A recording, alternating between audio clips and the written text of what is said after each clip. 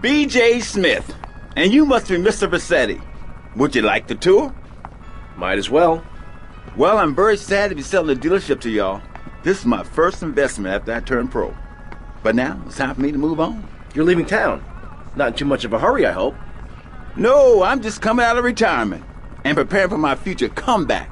The business wasn't too strong, and my staff took it upon themselves to get a bit more creative with the generation of wealth.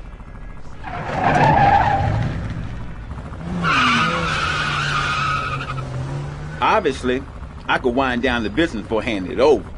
Hell, I could burn the place down if I wanted to.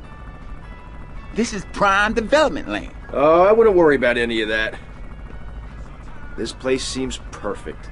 Yeah, it does. So I take it we have a deal.